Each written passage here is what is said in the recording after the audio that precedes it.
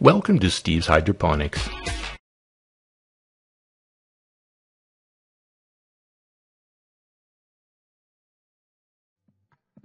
If you've bought the 3x3 or the 4x4 and have upgraded to 600 or 1000 watt lights, you'll want to adhere the 6 inch TD SMP fan using zip ties as shown in the video.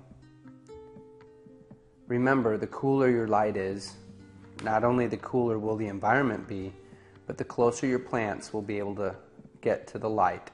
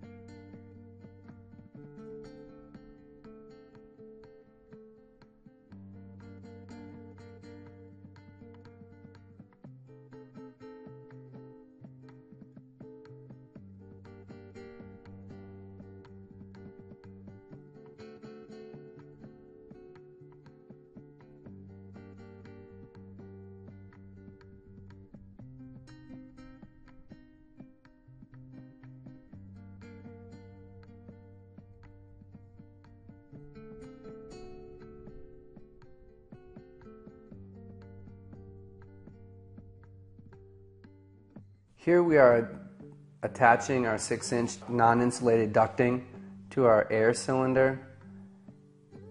This will be our air intake and you'll notice that we let the 6 inch non-insulated ducting go to the floor where the air is cooler. We will then use our silver tape, our HVAC tape, to tape everything together so there are no air leaks.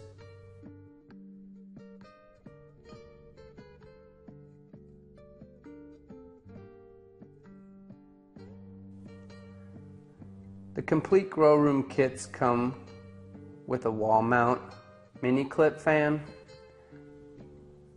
This fan, uh, it doesn't really matter where this fan goes, just as long as it's circulating air in your grow room environment. This helps to keep the air moving, resulting in a clean, healthy environment.